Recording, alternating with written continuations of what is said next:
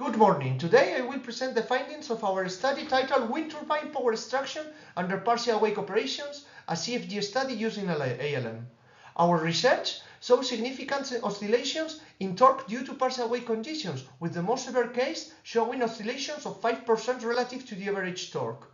We analyzed the influence of turbine spacing on the power coefficient and blade root loads. For the most affected cases, with spacings of 0.5 and 0.75 diameters, blade root loads increased by 20% and 10% respectively on in the unaffected areas.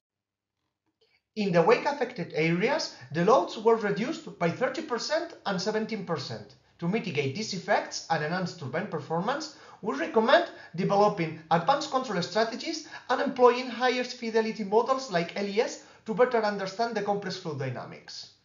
Thank you for your attention.